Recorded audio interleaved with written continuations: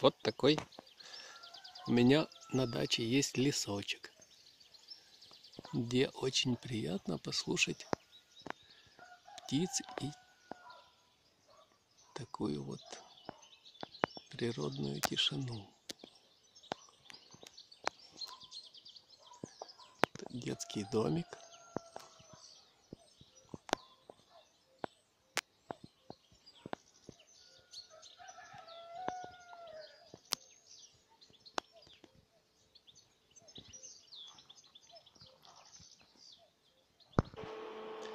Но именно сейчас я бы хотел с вами подру...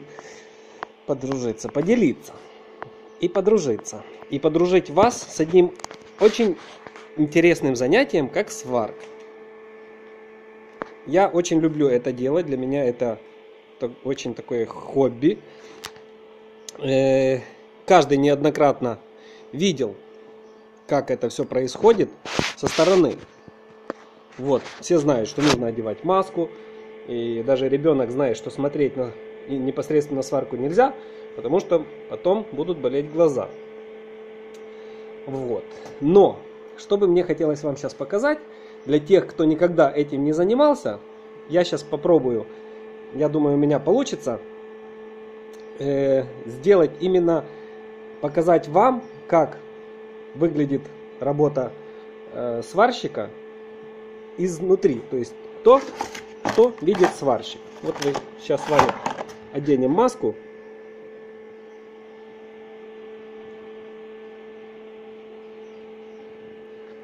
Вот. Внутри маски получается приблизительно вот такая видимость. То есть для того, чтобы производить какие-то работы, ему необходимо подсматривать. То есть вон, вот мы смотрим и потом одеваем маску. В маске видим приблизительно вот такое. В дальнейшем берем электрод и сейчас, я не знаю, что получится, но посмотрим, что нам телефон, как это все увидит.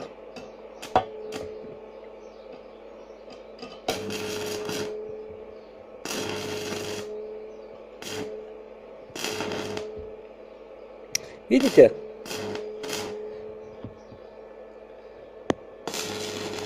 Телефон не позволяет. Я глазами в маске я вижу немного лучше. То есть со стороны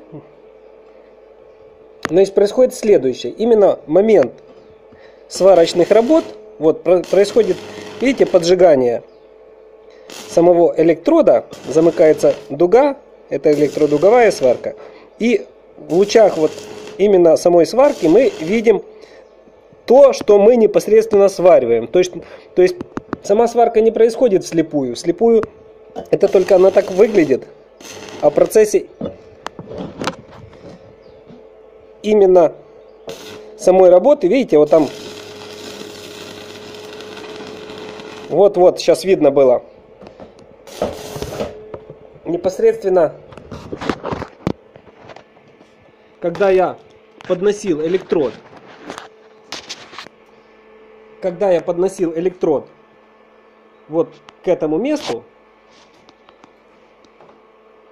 то со, немножко, ну, телефон видит не так, как я вижу глазами в маске, то сбоку было видно вот эту металлическую штуковину. На самом деле в маске, когда э, происходит сварка, то э, при подсвечивании, вот когда электрод начинает варить, вот этот цвет мы фактически видим, ну, естественно, не так, как днем, но довольно-таки хорошо. Видно сваривая, свариваемые э, вот эти части, и э, тогда, ну, в общем, можно выполнять вот эти работы э, направленно, то есть это не происходит вслепую. Э, это я варю подставку, под, э, варю штатив ну, такой выносной штатив для разных работ, там, э, для подсветки, фактически для прожекторов. Ну, для съемки видео, там некоторые пользователи жаловались на плохой свет в кадре. Вот и сейчас, возможно, он не такой совсем хороший, как бы хотелось. Поэтому вот я хочу сварить хороший переносной разборный штатив для того, чтобы можно было бы в любых моментах снимать кино. Естественно, я подошел к этому вопросу очень творчески, как вы видите. То есть это не стандартная такая подставка. Здесь я хочу еще, еще вот эти углы мне вообще не нравятся. Как-то некрасиво получилось. Я хочу их вот так вот вырезать и, наверное, дам их внутрь. То есть от этого устойчивость не поменяется, но э, эстетический вид будет намного интересней. И она немного будет более компактно выглядеть. А то такая стойка такая какая-то громадная получилась. Вот. И вот здесь, что про... сейчас я вам показывал, как выглядит это все непосредственно в момент сварки. И сейчас мне интересно вот самому даже. Мы сейчас вместе вот это попробуем вот это сделать. Сейчас я попробую таким вот образом, как телефон будет, как телефон сейчас будет видеть момент сваривания именно. А ну, сейчас посмотрим. О, видите? Просто слепит камеру полностью. Ну, в шоке камера от такого освещения. А ну, еще раз попробуем. Видите?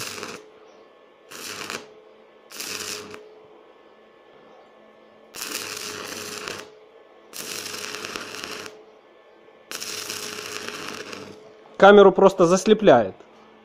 То есть не получается. Это э, разве что из какого-то дальнего расстояния со штатива она бы получилось бы снять это более так э, как-то визуализировано, но при вот видите, что происходит. Вот приблизительно так происходит сварка. Да, сейчас есть уже шапки такие, которые реагируют вот на этот цвет, когда просто через стекло видно, вот как, как через обычное, но в момент именно зажигания яркого света она становится темной. Есть такие специальные маски, уже профессиональные. Вот. Ну, я пользуюсь такой. Довольно-таки интересное мероприятие это происходит, когда чик, ты ее набрасываешь все в темную. И тут включается вот эта лампочка. Именно когда замыкается дуга. В общем, очень интересное занятие. Так что такие аппаратик там стоит совсем недорого и очень такое интересное занятие заниматься немножко соединением металлов. А с вами был Макс Аля. Смотрите мой канал, подписывайтесь и до следующих публикаций.